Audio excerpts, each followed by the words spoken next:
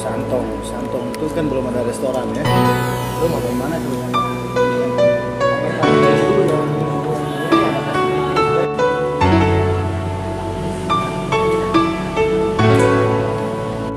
Tapi, berarti konsep ini nggak tertarik. Itu grill